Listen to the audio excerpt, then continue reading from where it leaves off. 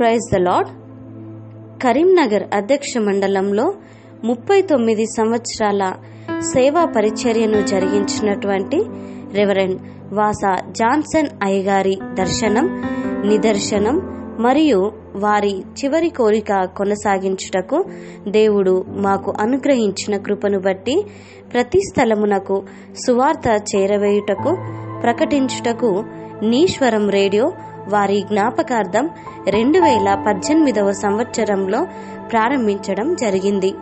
సువార్త పరిచర్యలో కొనసాగించబడుతూ ఉంది. నీశ్వరం రేడియో నందు ఆత్మీయమైన ప్రసంగాలు అద్భుతమైన సాక్ష్యాలు ప్రత్యేకంగా ఆదివారం ఆరాధనలు ప్రత్యేకమైన టాక్ షోస్ బైబుల్ స్టడీస్ చిన్నపిల్లల కొరకు మహిళల కొరకు ప్రత్యేకమైన కార్యక్రమాలు మరి ముఖ్యముగా ఉజ్జీవభరితమైన పాటలు మరియు అనేకమైన కార్యక్రమాలు నీశ్వరం ఆన్లైన్ క్రిస్టియన్ రేడియో ద్వారా జరిగించబడుచు ఉన్నవి.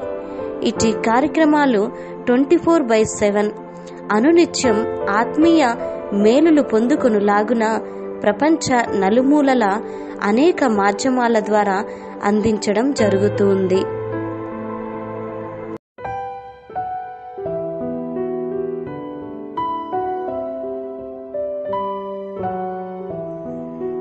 ప్రైజ్ ద లాడ్ ప్రతి స్త్రీ కూడా జ్ఞానవంతురాలై తన కుటుంబాన్ని సమాజాన్ని కట్టుకొనుటకు శక్తిని జ్ఞానాన్ని పొందుటకు కావలసినది దేవుని వాక్యం.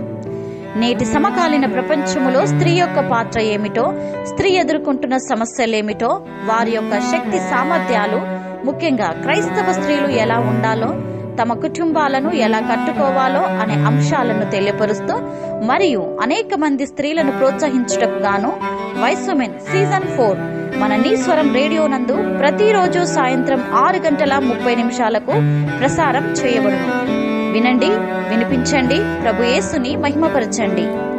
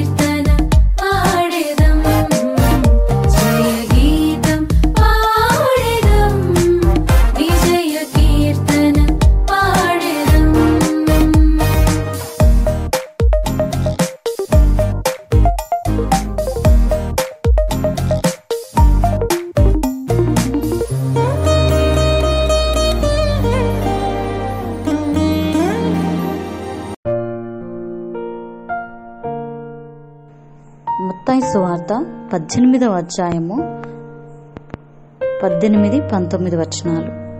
భూమి మీద మీరు వేటిని బంధింతురో అవి పరలోకమందును బంధింపబడును. భూమి మీద మీరు వేటిని విప్పుదురో అవి పరలోకమందును విప్పబడునని మీతో నిశ్చయముగా చెప్పుచున్నాను.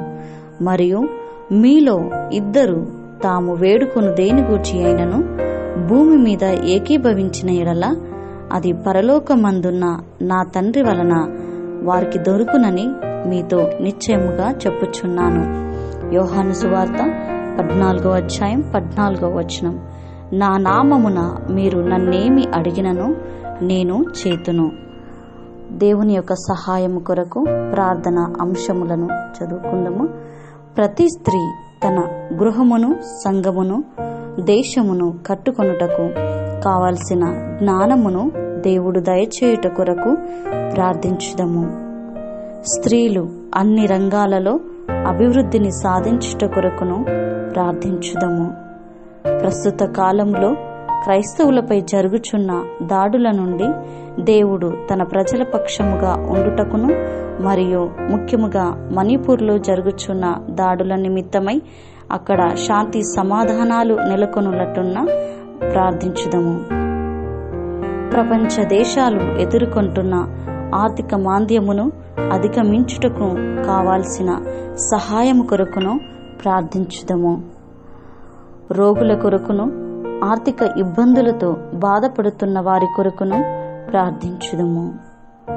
ప్రజలందరూ యేసుక్రీస్తుని నిజమైన రక్షకునిగా అంగీకరించి తమ హృదయాలలో క్రీస్తును కలిగి జీవించుచు మరియు రెండవ రాకడ కొరకు సిద్ధపడులాగున వారి కొరకు ప్రార్థించుదము. వాయిస్ మెన్ కార్యక్రమం కొరకును ఇందులో ప్రసంగించుచున్న ప్రతి దైవజనురాలి కొరకును మరియు నీ స్వరం ద్వారా జరిగించబడుచున్న పరిచర్య కొరకును ప్రార్థించుదము. ఇటు అంశములన్నిటి కొరకు ప్రార్థన చేయగా అట్టి ప్రార్థనలో మనమందరము ఏకీభవించుదము.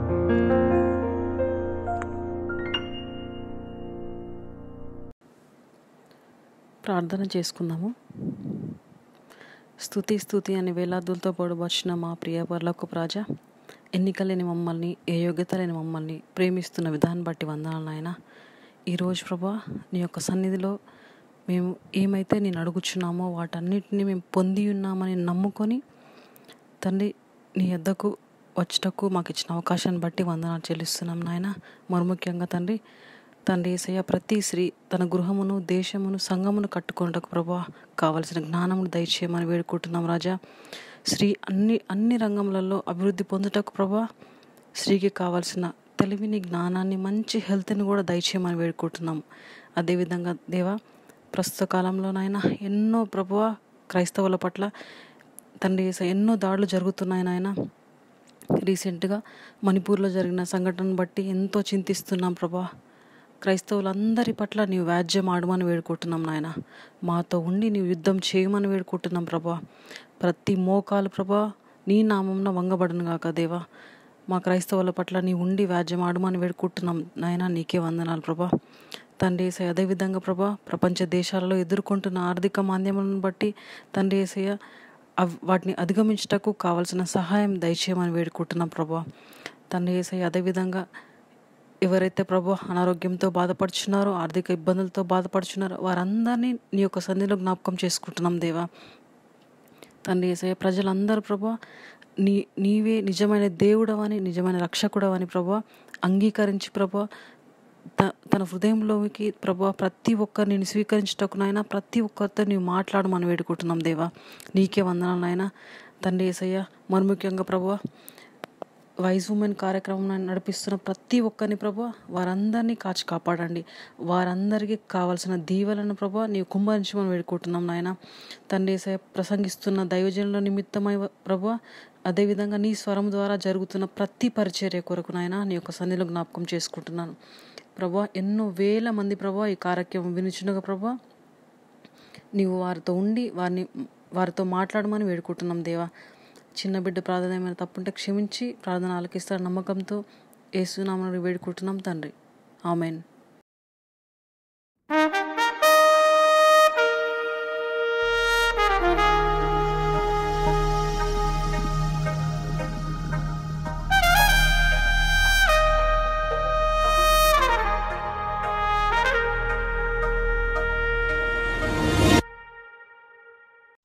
ప్రియమైన నీ స్వరం శ్రోతలందరికీ ప్రభు అయిన యేసుక్రీస్తు నామమున వందనములు. వాయిస్ ఉమెన్ సీజన్ ఫోర్ కార్యక్రమం నందు పదహారవ రోజు వర్తమానికులుగా సిస్టర్ బాల రవికుమార్ గారు ఏర్పాటు చేయబడినారు. వీరికి నీ స్వరం పక్షమున ప్రత్యేకమైన శుభములు తెలియజేయుచున్నాము. సిస్టర్ బాల రవికుమార్ గారు హైదరాబాద్ ప్రాంతంలో నిస్సి లైట్ హౌస్ ద్వారా సువార్థికులుగా ప్రభు పరిచర్యను కొనసాగించుచున్నారు. మరియు నీ స్వరం టీం మెంబర్గా ఉన్నారు. ఇట్టి సమయంలో సిస్టర్ బాలా రవికుమార్ గారు వాక్య సందేశం అందించెదరు.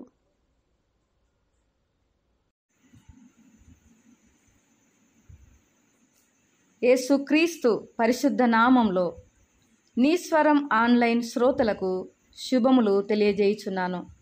నాకిట్టి అవకాశం ఇచ్చినటువంటి Neeswaram online radio evangelism management వారికి నా హృదయపూర్వక ధన్యవాదములు తెలియజేయుచున్నాను. ఈ సమయంలో మన ధ్యాన వచనమును చదువుకుందాము. యాకోబు పత్రిక మూడవ అధ్యాయము పదిహేడవ వచనము చదువుకుందాము. అయితే పైనుండి వచ్చు జ్ఞానము మొట్టమొదట పవిత్రమైనది తరువాత సమాధానకరమైనది. మృదువైనది సులభముగా లోబడినది కనికరంతోనూ మంచి ఫలములతోనూ నిండుకొనినది పక్షపాతమైనను వేషధారణ అయినను లేనిదినై ఉన్నది. ప్రార్థన చేసుకుందాము. ప్రేమగల తండ్రి కనికరం గల పరిశుద్ధ తండ్రి నీకు వందనాలు తెలియజేస్తున్నాను. ఈ సమయంలో పరిశుద్ధాత్మ దేవ నీ వాక్యంలోని లోతైన సత్యంలో మేము గ్రహించుటకు మా హృదయాలు తెరువమని మీరు మాకు బోధకునిగా ఉండి సహాయము చేయమని ఏసునామంలో ప్రార్థిస్తున్నాము తండ్రి. ఆమెన్. ఈ పత్రికను వ్రాసినటువంటి గ్రంథకర్త పేరు యాకోబు. యాకోబు అనే పేరు గలవారు పరిశుద్ధ గ్రంథంలో చాలామంది ఉన్నారు. మరి ఈ యాకోబు ఎవరు అన్నప్పుడు ఈయన ప్రభువైన యేసు క్రీస్తుల వారి యొక్క సహోదరుడుగా మనము గ్రహించగలము. అయితే యేసు ప్రభువుల వారు ఈ భూమి మీద జీవించి ఉన్నప్పుడు వీరు ఆయన యందు విశ్వాసం ఉంచలేదు. కానీ యేసు ప్రభువుల వారు చనిపోయి సమాధి చేయబడి పునరుత్డైన తర్వాత ప్రత్యేక దర్శనం ద్వారా మరి అనేక మందికి కనిపించినప్పుడు ఆ కనిపించిన వారిలో యాకోబు కూడా ఉన్నారు. అప్- అందును బట్టి ఆయన పునరుత్న దర్శనమును బట్టి యాకోబు యేసు క్రీస్తుల వారి యందు విశ్వాసం ఉంచాడు సనేద్రిన్ సభలో అధ్యక్షునిగా చాలా కాలము కొనసాగినారు. అనేకమైనటువంటి ప్రాముఖ్యమైన నిర్ణయాలు చేసినప్పుడు యాకోబు గారు ఎంతో ప్రముఖమైన పాత్ర వహించినట్లుగా మనము పరిశుద్ధ గ్రంథంలో చూడగలము. యాకోబు గారు అన్య దేశములలో చెదిరిపోయిన యూద క్రైస్తవుల కొరకు ఈ పత్రికను వ్రాస్తున్నారు. యూదా క్రైస్తవులు ఎవరు అని మనము కొంత ఆలోచన చేసినట్లయితే పెంతెకోస్తు దినము రోజు ఎరూషలేములో కూడుకొని ఉన్నటువంటి సమయంలో పేతురు భక్తుడు చేసినటువంటి ప్రసంగం ద్వారా రక్షణ పొందిన క్రైస్తవులుగా వీరున్నారు. మరలా తిరిగి వారి వారి దేశములకు వెళ్ళినారు. అక్కడ వారి విశ్వాసమును బట్టి అనేకమైన శ్రమలు అనుభవిస్తున్నారు. ఆ శ్రమలలో కూడా వారు ఏ రీతిగా వారి విశ్వాసాన్ని కాపాడుకోవాలి. ఏ రీతిగా పవిత్రంగా జీవించాలి. దేవుని కొరకు ఎలా నమ్మకంగా నిలబడాలి. వారి విశ్వాసము పెదవులతో మాత్రమే కాకుండా క్రియల ద్వారా కూడా వాళ్ళు జీవించాలి అని వారిని హెచ్చరించాడు ప్రోత్సాహపరుస్తున్నాడు. ఏడు సాధారణ పత్రికలలో యాకోబు పత్రిక మొదటి పత్రికగా పిలువబడుతున్నది ఈ పత్రికకు ఒక ప్రత్యేక స్థానం ఉన్నది. ఏమిటంటే క్రొత్త నిబంధన సామెతల గ్రంథమని యాకోబు పత్రికను పిలుస్తారు. మన ధ్యాన వచనమును ఆలోచన చేసినట్లయితే ఇక్కడ జ్ఞానము అనగా పైనుండి వచ్చు జ్ఞానము అనే మాటను మనం చూస్తున్నాము. అయితే అనే మాటతో ప్రారంభమైంది. అయితే అంటే దీనికి ముందు ఇంకొక జ్ఞానం ఉండి ఉండాలి. అదేంటంటే కింద నుండి వచ్చే జ్ఞానము అంటే పైనుండి అనగా దానికి వ్యతిరేకంగా క్రింద నుండి వ- అనే మాటను మనం చూస్తే భూ సంబంధమైనది ఇహలోక సంబంధమైనది ఈ లోక సంబంధమైన జ్ఞానం ఉన్నది అయితే దాని ప్రకారం మనం జీవించకుండా ఇహలోక సంబంధమైన జ్ఞానమును బట్టి మనం నడుచుకొనకుండా పైనుండి వచ్చు జ్ఞానమును మనం వెదికే వారంగా ఉండాలి. పైనుండి వచ్చున్నది అనగా ఏమిటి? పరలోక జ్ఞానము దైవ సంబంధమైన జ్ఞానము నిత్యత్వంలో నుండి వచ్చే జ్ఞానము దేవుడిచ్చేటువంటి జ్ఞానముగా మనము చూడగలము. జ్ఞానం అనే మాటను మనం చాలా సర్వసాధారణంగా మన దైనందిన జీవితంలో వింటుంటాము వాడుతుంటాము. మంచి జ్ఞానం కలిగిన వ్యక్తి అని మెచ్చుకుంటాము. లేదా జ్ఞానం లేనివాడు అజ్ఞానంగా ప్రవర్తిస్తున్నాడు అని తిట్టుకునే పరిస్థితులను కూడా మనం చూస్తుంటాము. ప్రతిరోజు మనము ప్రార్థన చేసినప్పుడు కూడా దేవుని దగ్గర జ్ఞానం కొరకు ఎక్కువగా ప్రార్థిస్తుంటాము. జ్ఞానం లేకుండా ఏ పని చేయలేము. జ్ఞానము మన జీవితాలలో అంత ప్రాముఖ్యమైనటువంటి మాటగా లేదా స్థానము కలిగి ఉన్నది. వెండి బంగారములు సంపాదించుకొనుట కంటే జ్ఞానమును సంపాదించుట మేలు అని వాక్యము తెలియజేస్తున్నది. జ్ఞానం అనగా ఏమిటి? జ్ఞానము మనకు అవసరమా? జ్ఞానము ఎక్కడ దొరుకుతుంది అని మనము ఆలోచన చేసినట్లయితే యహోవయందు భయభక్తులు కలిగి ఉన్నప్పుడు ఆయన మనకు జ్ఞానాన్ని ప్రసాదిస్తారు. సామెతల గ్రంథము రెండవ అధ్యాయము ఆరవ వచనంలో మనం చూసినట్లయితే యహోవాయే జ్ఞానమిచ్చువాడు తెలివియు వివేచనయు ఆయన నోట నుండి వచ్చును. మనకు జ్ఞానం ఇచ్చువారు ఎవరనగా మన దేవుడు. అందరికీ జ్ఞానము అవసరము. మరి అందరూ కూడా ఎక్కడికెళ్ళి జ్ఞానం అడగాలి అన్నప్పుడు యాకోబు రాసిన పత్రిక మొదటి అధ్యాయము ఐదవ వచనంలో మనము చూసినట్లయితే మీలో ఎవనికైనను జ్ఞానము కొదువగా ఉన్న ఎడల అతడు దేవుని అడగవలెను. అప్పుడు అది అతనికి అనుగ్రహింపబడును. ఆయన ఎవరిని గద్దింపక అందరికిని ధారాళంగా దయచేయువాడు? దీనిని బట్టి జ్ఞానం యొక్క ప్రాముఖ్యత మన జీవితంలో ఎంతగా ఉందో మనము ఆలోచించగలము. అయితే ఇక్కడ జ్ఞానం యొక్క గుణలక్షణాలను మనము చూస్తున్నాము. ఎనిమిది గుణలక్షణములను మనం చూస్తున్నాము. జ్ఞానము యొక్క మొట్టమొదటి గుణలక్షణం ఏమిటంటే జ్ఞానము పవిత్రమైనది. జ్ఞానము సమాధానకరమైనది. జ్ఞానము మృదువైనది. జ్ఞానము సులభముగా లోబడినది. జ్ఞానము కనికరముతో నిండుకొనినది. జ్ఞానము మంచి ఫలములతో నిండుకొనినది. జ్ఞానము పక్షపాతమైనను ఉండదు. జ్ఞానములో వేషధారణ అయినను ఉండదు. మరి ఒక్కొక్క గుణలక్షణమును గురించి మనం ధ్యానం చేసినట్లయితే మొట్టమొదటి లక్షణము పవిత్రమైనది. జ్ఞానము ఎంతో పవిత్రమైనది. పవిత్రమైనది అనే మాట గ్రీకులో చూసినట్లయితే హగ్నే అనే మాట నుండి అనువదించబడింది. దీని అర్థము విభజింపబడని స్వచ్ఛమైనది శుద్ధి చేయబడింది. దేవుడు మనలను దేనికి పిలిచాడో మనము ఖచ్చితంగా ఆ పిలుపు విషయమై దృష్టి కేంద్రీకరించి మనం జీవించాలి. ఈ లోక సంబంధమైన అపవిత్రతలోనికి మనం వెళ్ళకుండా పవిత్రంగా మన ఆలోచనలు మన హృదయము మన ధ్యానము అంతా కూడా దేవుని దృష్టిలో మనము పవిత్రంగా జీవించాలి. రెండవ లక్షణము జ్ఞానము సమాధానకరమైనది. అనగా సంఘర్షణలను సడలిస్తుంది. చాలా సున్నితమైనది. పోరాటాలను ఆపుతున్నది. ఇద్దరు వ్యక్తుల మధ్యలో లేదా ఈ రెండు సమూహాల మధ్యలో సఖ్యతను తీసుకొని వస్తుంది. దేనికైనా చేయటానికి సిద్ధంగా ఉంటుంది. జ్ఞానము చాలా విలువైనది విధేయత చూపునది. మూడవ లక్షణము మృదువైనది లేదా సాత్వికమైనది. క్రైస్తవులముగా మన యొక్క డిమాండ్స్ ఏవి ఉన్నప్పటికీ అవన్నీ మనము వదులుకోవాలి. ఇతరులతో మృదువుగా ప్రవర్తించాలి. వివాదాలకు మనం తావివ్వకూడదు. సులభముగా మనము జీవించాలి. నాలుగవది సులభముగా లోబడినది. అనగా వెంటనే లోబడుతుంది. ఎలాంటి కష్టం లేకుండానే కష్టపడకుండానే వెంటనే లోబడుతుంది. అనగా ఎలాంటి గర్వం కానీ అహంకారం కానీ మొండితనం కానీ ఉండదు.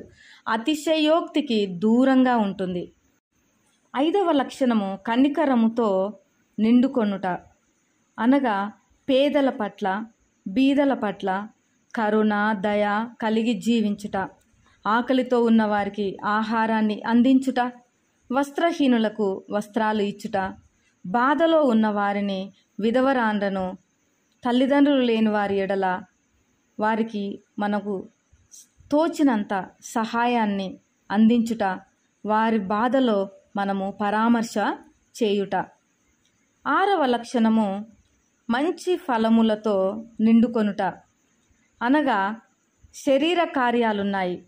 వాటి ప్రకారము మనం జీవించకూడదు. శరీర కార్యాలను మనము చూసినట్లయితే గలతీలకు రాసిన పత్రిక ఐదవ అధ్యాయంలో అపోసురుడైన పౌలు గారు ప్రస్తావిస్తున్నారు. పదిహేడవ వచనం నుంచి మనము చూడగలము. శరీర కార్యములు మరి పంతొమ్మిదవ వచనంలో ప్రాముఖ్యంగా మనము చూడగలము. శరీర కార్యములు స్పష్టమై ఉన్నవి. అవేవనగా జారత్వము అపవిత్రత కాముకత్వము విగ్రహారాధన అభిచారము ద్వేషములు కలహము మచ్చరములు క్రోధములు కక్షలు భేదములు విమతములు అసూయలు మత్తతలు అల్లరితో కూడిన ఆటపాటలు మొదలైనవి. ఈ శరీర కార్యాలకు మనం దూరంగా జీవించాలి. ఫల మంచి ఫలములను ఫలించాలి అన్నప్పుడు వీటితో మనము సంబంధం లేకుండా జీవించి ఆత్మ ఫలముతో మనము నిండుకొని జీవించాలి. అక్కడే ఐదవ అధ్యాయంలో ఇరవై రెండవ వచనంలో మనం చూడగలము. ఆత్మఫలమేమనగా ప్రేమ సంతోషము సమాధానము దీర్ఘశాంతము దయాలుత్వము మంచితనము విశ్వాసము సాత్వికము ఆశా నిగ్రహము. ఈ ఆత్మఫలము ఫలించుతూ తర్వాత మనము మంచి పనులు చేయుట చేయుటయందు సత్క్రియలు చేయుటయందు మనము ఆసక్తి చూపాలి. సక్రమంగా మనకు అప్పగించబడిన విధులను నిర్వర్తించుట ద్వారా మనము మంచి ఫలములు ఫలించిన వారంగా ఉండగలము. ఏడవ లక్షణము పక్షపాతం లేకుండుట అనగా పేదలని ధనవంతులని విద్యావంతులని విద్యాహీనులని ఈ రకమైనటువంటి సమాజంలో ఎలాంటి భేదభావములు వారి మధ్యలో చూపకుండా పక్షపాతము చూపకుండా అందరినీ అంతటా ప్రేమిస్తూ ఇతరులతో మర్యాదగా ప్రవర్తిస్తూ వారి ఎడల మనము గౌరవంగా జీవించినప్పుడు మనం పక్షపాతం లేనివారుగా ఉండగలము. ఎందుకంటే ఏసయ్య అందరినీ అంతటా ఏకరీతిగా ప్రేమిస్తున్న దేవుడుగా ఉన్నాడు. నీతిమంతులని అనీతిమంతులని ఎలాంటి పక్షపాతం లేకుండా అందరి మీద ఎండ గాలి వాన ఏ రీతిగా కురిపిస్తున్నాడో మనము కూడా ఏ భేదభావం లేకుండా అందరినీ క్రీస్తు ప్రేమతో మనము ప్రేమించాలి. ఎనిమిదవ లక్షణాన్ని చూసినట్లయితే వేషధారణైనను లేకుండా జీవించాలి. అనగా ఎలాంటి కపటము మనము చూపకూడదు. యథార్థంగా అందరి ఎడల ప్రవర్తించాలి. వారి ఎదుట ఒకలాగా ప్రవర్తించి వారి వెనుక ఒకలాగా మనము ప్రవర్తించకూడదు. ఎందుకంటే యథార్థవంతులను దేవుడు ఎంతగానో ప్రేమిస్తున్నాడు. మరి ఈ గుణలక్షణాలన్నీ స్త్రీలమైన మనకు కూడా వర్తిస్తాయా? ఈ జ్ఞానం వలన మనము కూడా దేవునికి మహిమకరంగా జీవించవచ్చా అంటే అవును. ఈ గుణలక్షణాలు యూదులకు అన్యులకే కాదు కానీ క్రైస్తవులమైన స్త్రీలు అందరికీ కూడా యేసు ప్రభువుల వారిని వెంబడించే వారంగా ఆయనను ప్రేమించే వారంగా ఆయన యొక్క శిష్యురాళ్ళముగా ఉన్నటువంటి మనందరికీ కూడా ఈ లక్షణాలు వర్తిస్తాయి. అయితే మరి బైబిల్ గ్రంథంలో కూడా ఇలాంటి లక్షణాలు జ్ఞానం యొక్క లక్షణాలను పుణికి పుచ్చుకొని వారి జీవితాలను కట్టుకొని వారి కుటుంబాలను కట్టుకొని మన ముందు మాదిరిగా ఉన్నటువంటి అనేక మంది స్త్రీలు బైబిల్ గ్రంథంలో మనకు కనపల కనబడుతున్నారు. వారిలో ఒక మొట్టమొదటి స్త్రీగా మనము లేయాను చూడగలము. లేయా జీవితంలో మరి ఎన్నో ఒడిదుడుకులు ఎదుర్కొన్నది. ఆమె యొక్క స్వరూపము కురుపిగా ఉండొచ్చు. ఎందుకంటే పరిశుద్ధ గ్రంథము ఆమెకు జబ్బు కండ్లు ఉన్నది అని ప్రస్తావించింది. జబ్బు కండ్లు కలది. అది భౌతికమైనటువంటి రూపమై ఉండొచ్చు. కానీ ఆమె ఎంతో ఆత్మ సౌందర్యవతిగా మనం చూడగలము. ఎందుకంటే ఆమె ఆత్మ సౌందర్యవతిగా ఎలా తయారయ్యింది అంటే జ్ఞానము యొక్క లక్షణాలను ఆమెలో మనం చూడగలము. ఆమె జీవితంలో పవిత్రత ఉన్నది ఆమె ఎంతో సమాధానకరమైన పరిస్థితిలో ఆమె జీవించింది. ఎలా చూడగలము ఆమె జీవితాన్ని అంటే ఆమె యాకోబును వివాహం చేసుకున్నప్పుడు ఎంతో బహిరంగంగానే ఆమె తిరస్కరించబడింది. భర్త చేత ద్వేషింపబడింది. భర్త చేత తిరస్కరించబడింది. భర్త ప్రేమను ఎప్పుడు కూడా ఆమె రుచి చూడలేదు. భర్త ప్రేమకు ఎల్లప్పుడూ కూడా ఎదురు చూసింది. అర్రులు చాచింది. నన్ను ప్రేమిస్తాడేమో నన్ను చేరదీస్తాడేమో నన్ను అక్కున చేర్చుకుంటాడేమో నా మాటకు విలువిస్తాడేమో అని ఎంతగానో ఎదురు చూసింది. కానీ ఆమె ఎక్కడ కూడా మరి యాకోబు తన భర్త అయిన యాకోబు ప్రేమను ఆమె చూసినట్లుగా మనము చూడము. అయినప్పటికీ కూడా ఆమె ఎంతో జ్ఞానవంతురాలుగా మనకు కనపడుతున్నది. ఆ జ్ఞానము ఏ రీతిగా సంపాదించుకోవచ్చు? అంత పవిత్రమైనటువంటి జ్ఞానమును ఎలా ఆమె పొందుకోవచ్చు అంటే దేవుని యొద్ద నుంచి ఆమె పొందుకున్నది. ఎలా అంటే తన భర్త అయినటువంటి యాకోబు ఆయన ఏ రీతిగా దేవుని ప్రేమిస్తున్నాడు? ఆయన దేవుణ్ణి ఏ రీతిగా వెంబడిస్తున్నాడు? ఆయన దేవుని సన్నిధిని ఎలా అనుభవిస్తున్నాడని ఆమె గమనించినట్లున్నది. వివాహానికి ముందే ఆయన తెలుసు ఆమెకు. ఏడు సంవత్సరాలు తన తండ్రి అయిన లాభాన్ని యొద్ద ఆయన పనిచేస్తున్నాడు కాబట్టి ఆయన జీవిత విధానాన్ని ఆమె గమనించినట్లుంది దగ్గరగా. కాబట్టి ఆయనను ఆయన యొక్క దేవుణ్ణి తెలుసుకున్నది. అందుకే ఆమె ఎంతో జ్ఞానముతో తన ఇల్లును కట్టుకున్నది పవిత్రంగా జీవించింది. తర్వాత ఆమె సమాధానంగా జీవించింది. తన భర్త ఎంతగా ఆమెను తిరస్కరించినప్పటికీ తన భర్త ప్రేమ పొందుకోనప్పటికీ కూడా ఆమె సమాధానంగానే జీవించింది. మృదువుగా జీవించింది. తన భర్తకు లోబడింది. కనికరము ఆమె కనికరం కలిగిన స్త్రీగా మనం చూడగలము. అలానే మరి పిల్లలను కన్నది. అంటే పిల్లలు అనే ఫలాలను ఆమె ఫలించింది. ఎలాంటి పక్షపాతము ఆమె ధోరణిలో కనపడదు. వేషధారణ కపటం అనేది ఆమెలో మనకు కనపడదు. మరి అలాంటి స్త్రీ జీవితంలో ఎన్నో దీవెన ఆశీర్వాదాలు మనం చూడగలము. ప్రాముఖ్యంగా మనం చూసేటువంటి దీవెన ఏంటంటే గొప్ప దీవెన. ఆమె నాలుగవ కుమారుడైనటువంటి యూద జన్మించినప్పుడు యహోవాను ఆమె స్థుతించింది ముగ్గురు కుమారులు పుట్టినప్పుడు ఆమె భర్త ప్రేమ కొరకే ఎదురు చూసింది. ఇకనైనా నా భర్త ప్రేమిస్తాడేమో అని. కానీ నాలుగవ కుమారుడు పుట్టినప్పుడు తన దృష్టి భర్త మీద నుంచి దేవుని మీదకు మళ్ళించింది దేవుణ్ణి స్థుతించింది మరి ఆ నాలుగవ కుమారుని యొక్క వంశంలో నుండే ఏసుక్రీస్తుల వారు జన్మించారు. యూదాగోత్రపు సింహంగా ఆయన పిలువబడుచున్నారు. హలెలూయ ఆమె పైనుండి వచ్చే జ్ఞానాన్ని పొందుకున్న స్త్రీగా మనము చూడగలము. తన కుటుంబాన్ని తన జీవితాన్ని కట్టుకున్నది మాదిరిగా నిలబడింది. మరి పైనుండి వచ్చే జ్ఞానము లేకుండా తన జీవితాన్ని పోగొట్టుకున్నటువంటి స్త్రీలను కూడా మనం చూస్తున్నాము. మరి అలాంటి స్త్రీలు ఒక్క స్త్రీని మనం చూసినట్లయితే మీ కాలును మనం చూడగలము. మీ కాలుకు ధర్మశాస్త్రము తెలుసు చిన్నతనము నుంచి వాక్యము తెలుసు. తన తల్లిదండ్రులు బెన్యామిను గోత్రికులు అయినప్పటికీ కూడా లోక సంబంధమైన జ్ఞానమునే ఆమె ప్రేమించినట్లుంది. అందుకే భర్త ప్రేమను కోల్పోయిన స్త్రీగా మనం చూస్తున్నాము. ఈ లోక సంబంధమైన జ్ఞానాన్ని ఆశించిన స్త్రీగా మనం చూడగలము. దైవ జ్ఞానము ప్రేమించని స్త్రీగా మనం చూడగలము. ఎందుకంటే దావీదును వివాహమాడినప్పటికీ కూడా మరలా ఇంకొక వ్యక్తికి ఇవ్వబడింది. ఇవ్వబడిన తర్వాత ఎప్పుడైతే దావీదు రాజుగా మరలా అభిషేకించబడ్డాడో మరలా ఆమె అతని యొద్దకు తీసుకురాబడింది. దేవుని మందసము ఎరూషలేమునకు తీసుకొస్తున్న సమయంలో దావీదు మందసం ఎదుట ఎంతో ఆటలాడి నాట్యమాడి దేవుని స్థుతించి ఆరాధించినప్పుడు అతన్ని చూచి తన మనసులో హీనపరిచింది. అంటే ఆమె దేవుణ్ణి ప్రేమించని వ్యక్తిగా దేవుణ్ణి అందు భయభక్తులు కలిగిన కలిగని స్త్రీగా మనం చూస్తున్నాము. పైనుండి వచ్చే జ్ఞానము పవిత్రమైనదిగా ఉంటే సమాధానకరమైనదిగా ఉంటే ఇక్కడ ఈమెకున్న జ్ఞానాన్ని బట్టి ఈ లోక జ్ఞానాన్ని బట్టి ఆమె పవిత్రతను కోల్పోయింది. తన భర్తతో సమాధానాన్ని కోల్పోయినది. భర్తకు లోబడని స్త్రీగా ఆమె నిలబడింది. ఆమెలో ఎలాంటి ఫలాలు ఫలించని స్త్రీగా మనం చూస్తున్నాము. ఆమె గర్భము మూయబడింది.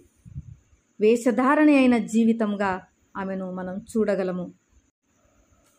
అనేక మంది స్త్రీలు ఫీబే గారు మరి బైబిల్ గ్రంథంలో ఉన్నది. కొత్త నిబంధనలో దేవుని వాక్యాన్ని మోసుకొని పోయిన స్త్రీగా ఉన్నది. పత్రికను అందజేసిన స్త్రీగా ఉన్నది. లూదియా ఒక వ్యాపారవేత్తగా యూరప్ ఖండంలో మొట్టమొదటి విశ్వాసిగా ఎంతో కొనియాడబడింది. షారా మిరియాము దెబోరా హుల్దా అనేక మంది స్త్రీలు తమకివ్వబడినటువంటి తలాంతులతో దేవుని అందున్నటువంటి జ్ఞానముతో మరి ఈ లక్షణాలన్నీ పునికి పుచ్చుకొని మన ఎదుట ఎంతో మాదిరిగా వాళ్ళు నిలబడి ఉన్నారు. అలానే పైనుండి వచ్చే జ్ఞానము పొందుకోలేక ఈలోక సంబంధమైన జ్ఞానంతో దేవుని దీవెన దేవుని సన్నిధిని పోగొట్టుకున్నటువంటి స్త్రీలుగా మరి మీకాలను చూస్తున్నాము అవ్వను చూస్తున్నాము. మరి ప్రియమైనటువంటి వార్లారా ఈ యొక్క సమయంలో మనమందరం కూడా స్త్రీలముగా మనము ఎలాంటి జ్ఞానమును ఆశిస్తున్నాము? ఈ లోక సంబంధమైన జ్ఞానాన్ని ఆశిస్తున్నామా? ఈ లోక సంబంధమైన జ్ఞానములో ఏమీ లేదు. ఈ లోక సంబంధమైన జ్ఞానము దేనితో నిండుకొని ఉన్నది? జీవపు డంబముతో నేత్రాశతో శరీరాశలతో నిండుకొని ఉన్నది. ఒకడు లోకమంతా సంపాదించుకొని తన ఆత్మను పోగొట్టుకుంటే వచ్చే లాభం ఏంటి అన్నట్టుగా మనం ఈ లోక జ్ఞానమును సంపాదించుకొని ఈ లోకంలోని సమస్తాన్ని సంపాదించుకొని వెండి బంగారములను సంపాదించుకొని ఈ లోక జ్ఞానంతో ఆస్తులు అంతస్తులు హోదాలు స్థితులు గొప్ప గొప్ప పొజిషన్లు పేరు ప్రఖ్యాతులు సంపాదించుకొని మనము ఆత్మను పోగొట్టుకుంటే మనకొచ్చే ప్రయోజనం ఏమిటి ఈ లోక సంబంధమైన జ్ఞానమును బట్టి అనేకులు మనల్ని గౌరవించవచ్చు అనేకులు మనల్ని గుర్తించవచ్చు అనేకులు మనల్ని పొగడవచ్చు. కానీ పైనుండి వచ్చే జ్ఞానము మనకు ఆశీర్వాదము మనల్ని నిత్యత్వంలోనికి నడిపిస్తుంది. మనము నిత్య జీవమును పొందుకుంటాము. జ్ఞానుల నాలుక ఆరోగ్యదాయకము. జ్ఞానుల పెదవులు తెలివిని వెదజల్లును. జ్ఞానుల చెవి తెలివిని వెదకును. ఈ రీతిగా మనము జీవించాలి. మన నాలుక ఎప్పుడు కూడా జ్ఞానవచనాలే వల్లించాలి. మన యొక్క పెదవులు తెలివిని వెదజల్లే మాటలే వల్లించాలి. మన యొక్క చెవులు తెలివిని గురించిన మాటలే వినగలగాలి. మరి అలాంటి పైనుండి వచ్చే జ్ఞానమును మనం వెతుకుదాము. పవిత్రంగా మనం జీవించుదాము. ఇతరులతో సమాధానకరంగా మనము మసలుకుందాము. చాలాసార్లు సమాధానానికి బదులు అసమాధానంగా జీవిస్తుంటాము. తెలివిలేనితనంగా అజ్ఞానంగా మసులుకుంటుంటాము. కానీ సమాధానపరచువారు ధన్యులు వారు దేవుని కుమారులు అనబడుదురు లేదా కుమార్తెలు అనబడుదురు మనం దేవుని కుమార్తెలముగా సమాధానాన్ని వెదికే వారంగా సమాధానమును తీసుకొచ్చే వారంగా సమాధాన పరచువారంగా మనం జీవించాలి. ఎంతో మృదువుగా ఎంతో సహనం కలిగి మనము మాట్లాడాలి. మృదువైన మాట క్రోధమును చల్లార్చును అనే మాటను చూస్తున్నాము. మరి ఎదుటివారు ఎంత కోపంలో ఎంత క్రోధంలో ఎంత ఉగ్రతను కనపరిచినా మనము మాత్రము జ్ఞానం కలిగి మృదువుగా మాట్లాడినప్పుడు ఆ ఎంతటి ఉగ్రత అయినా కూడా వాళ్ళు మానుకుంటారు వారు కూడా శాంతిస్తారు. మరి అలాంటి ఈ లక్షణాలతో కూడినటువంటి ఆత్మీయ జీవితమును మనం కొనసాగిద్దాము. ప్రియమైనటువంటి వార్లారా ఈ సమయంలో దేవుడు మనందరితో మాట్లాడుతున్నారు. మనము ఏ రకమైన జ్ఞానమును కలిగి జీవిస్తున్నాము? అనేది మనము ప్రశ్నించుకోవాలి.